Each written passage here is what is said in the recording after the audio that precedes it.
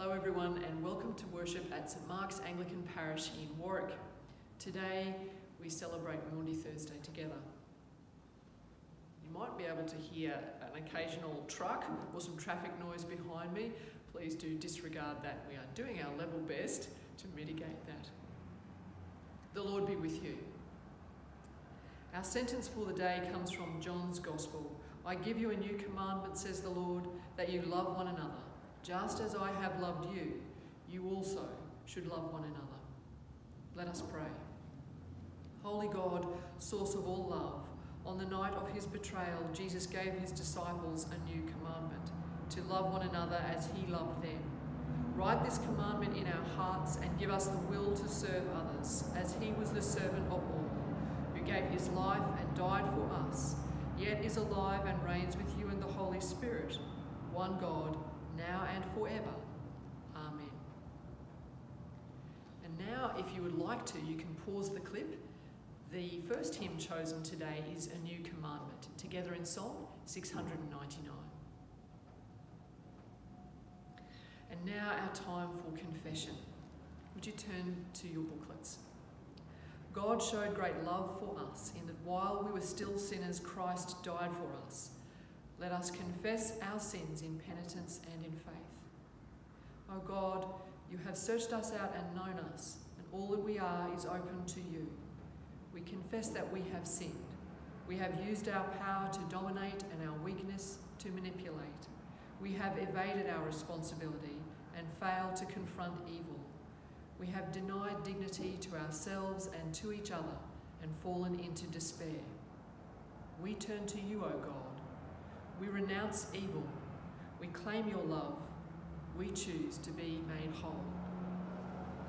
Almighty God, who has promised forgiveness to all who turn to him in faith, pardon you and set you free from all your sins, strengthen you in all goodness, and keep you in eternal life. Through Jesus Christ our Lord. Amen. And now we come to our Bible readings for today. You'll see that our focus reading is passage from John's Gospel, chapter 13. So if you'd like to turn to that one now and pause the clip so you can read that in your own time. And now our reflection. An occupied people, a physical hunger, the desire for freedom, and the turning toward a spiritual purpose. This past week, I finally got to see a film that I've wanted to see for a while the Guernsey Literary and Potato Peel Society. It is 1941 at the beginning of the film, and the people of the island of Guernsey in the English Channel have been occupied by Nazi Germany. A group of locals, drawn together by one of those remarkable friends in common types, a girl with a heart full of love, meet in defiance of the curfew. They're hungry, and the opening scenes centre on a hidden banquet to which each invited guest must bring a part of the meal the joint of roast meat, the greens, the homemade gin, and finally the offering from the elderly postmaster, a pie made solely from potato peels, which is truly awful. The gathered group has to fabricate a book club to get around the breach of curfew, but as they start to meet regularly, discussing and debating some wonderful books, sharing ideas and the dreadful potato peel pie, something they didn't bargain on happens. What has begun as a need for sustenance develops into something that is truly rich and satisfying, a deep and lasting friendship that sustains them beyond betrayal, suffering, and death.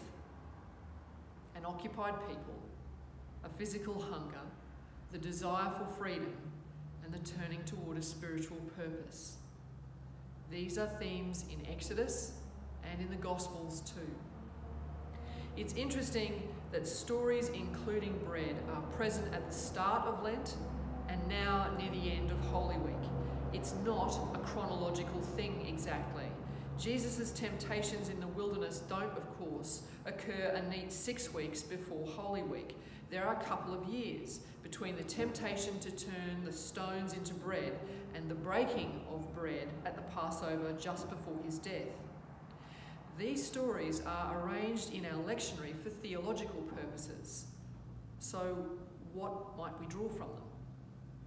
Satan's temptation is about the misuse of power, about solving the physical hunger of the world with a magic trick.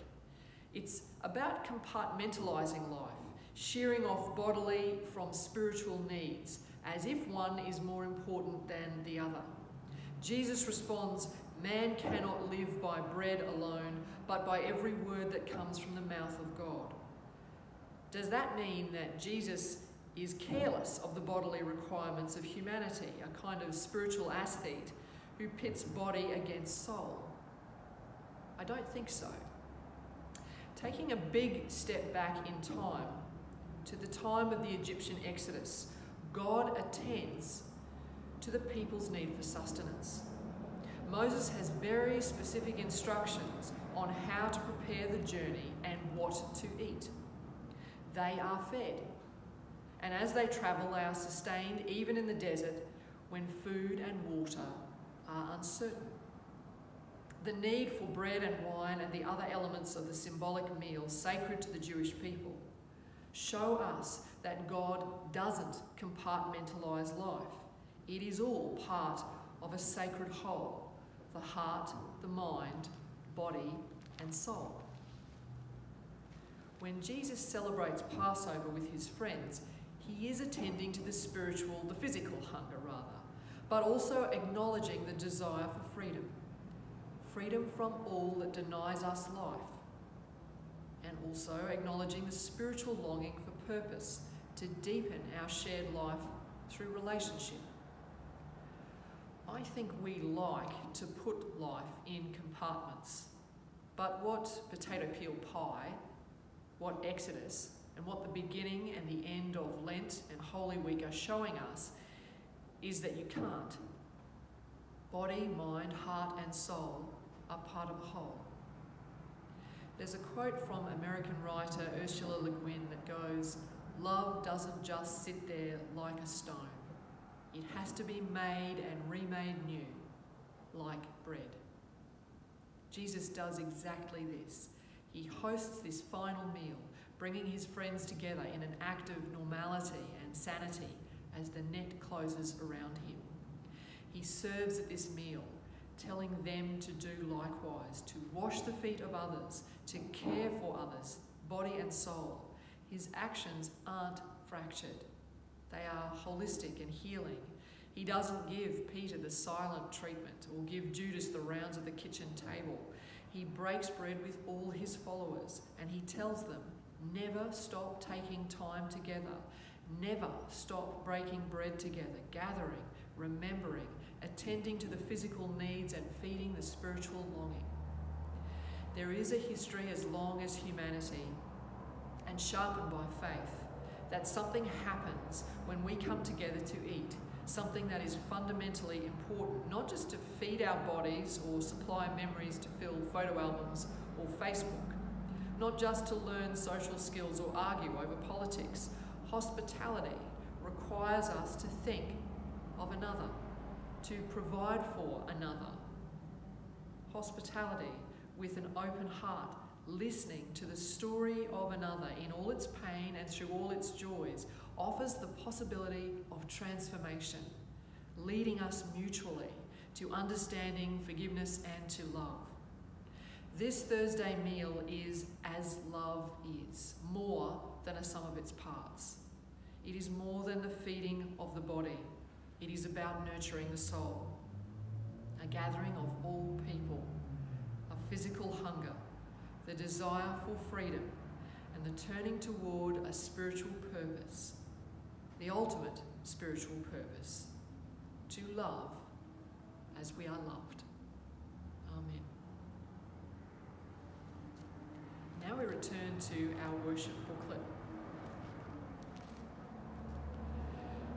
We take time to affirm the faith of the church in the words of the Apostles' Creed. Please pause the clip now so that you can do that in your gathered group or as you're worshipping on your own. You might like to choose a second hymn as a way of reflecting as we prepare for prayers today.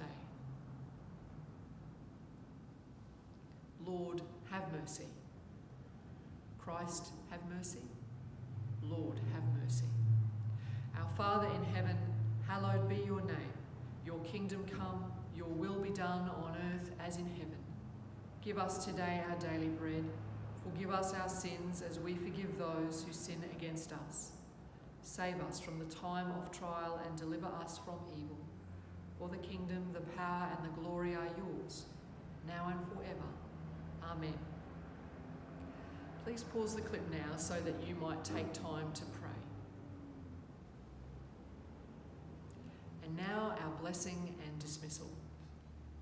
As we prepare for the solemn services of Good Friday, we hold hands if we are worshipping with others. We know that we are always held in the hands of God. Let us say the grace together. The grace of our Lord Jesus Christ, the love of God, and the fellowship of the Holy Spirit be with us all evermore. Amen. Go in peace to love and serve the Lord. In the name of Christ, Amen.